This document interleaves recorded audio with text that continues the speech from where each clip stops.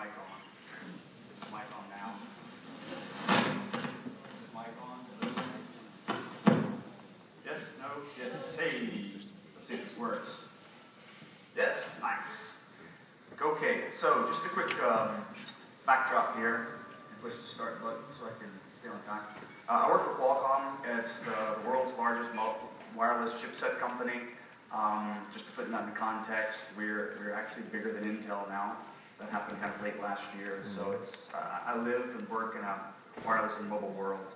Um, a few things on entrepreneurship I'd like to talk about. Three, three key points today. Um, there are actually blog posts that I've written about this. So if there's things that I've referenced and you want to go back and look at them, all this stuff is online. Um, but quickly about what kind of Qualcomm Ventures and kind of what we are, what we do. So again, you know, it's mobile only, mobile first, uh, uniquely mobile investments. Um, we are primarily financially driven organization. Um, we've been around for 13 years, and the reason that we've stayed around for 13 years is we didn't focus on strategic initiatives per se. And the only thing that I learned in my MBA was that strategic is a euphemism for losing money so we, we definitely focus focus on the cash. Clearly, everything that we've done is, is related to Qualcomm's core business, but I think that's, that's an important point to make. As far as the fund itself goes, um, so the U.S. was established back in 2000 with a $500 million allocation. Europe was established back in 2007 with a $150 million allocation. And it's, it's a similar model outside of the U.S. Each region has approximately 100, 150,000, depending. And um, We've got two people in each geographic location outside of the U.S. So two of us here in Europe, two in India, two in China, and then for our newest region, Israel, and sorry, we have two in Israel. We have uh, one in Korea, one in Brazil. So anyway, three.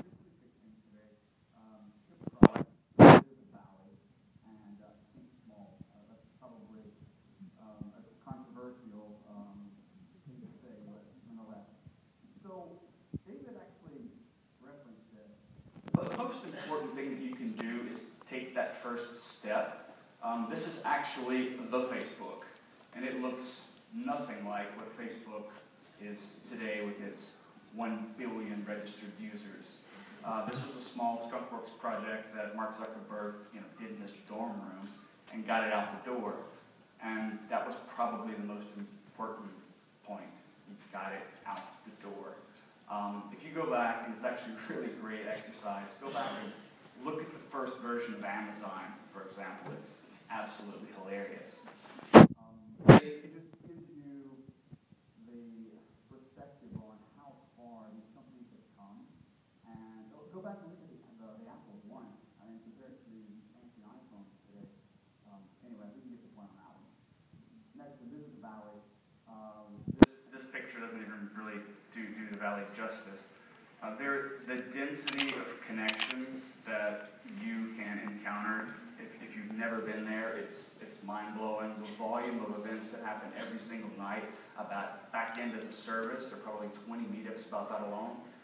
Um, access to clearly the, the, the, very big tech players, um, which are most likely going to be your exit path.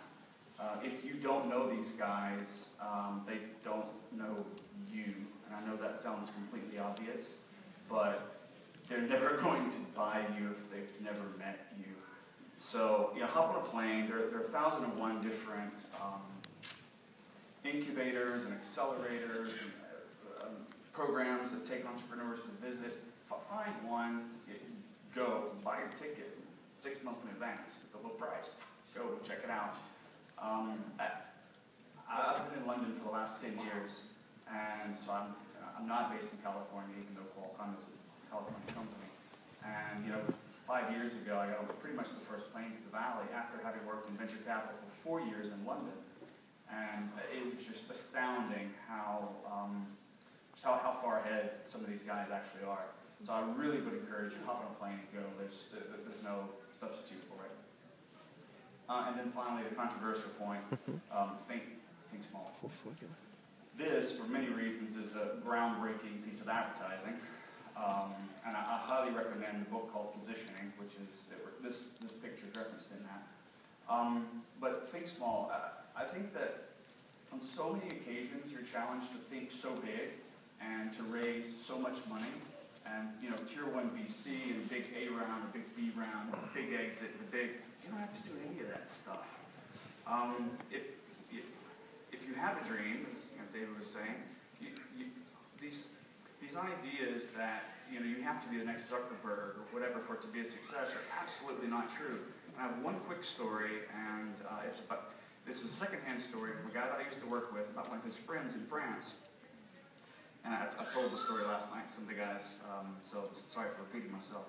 But he started off with a model airplane business, which is particularly exciting. And, you know, 100, 100 planes to start off with. And he would buy model airplanes, import them from China, remove the instructions, insert instructions in French, and he sold them on eBay. Okay, that's not the next Apple. Fast forward a few years, he slowly built the business up. He was running it out of his bedroom. And so two years ago is when I heard the story.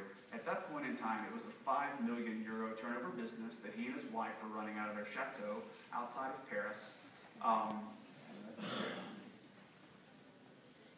yeah, we're running this out of their chateau uh, in Paris and living a very good life, paying themselves some, some very handsome salaries. They're not worried about the big exit. They're not worried about the big VCs. Um, they, they started small and followed their hearts. Anyway, that's all I got to say.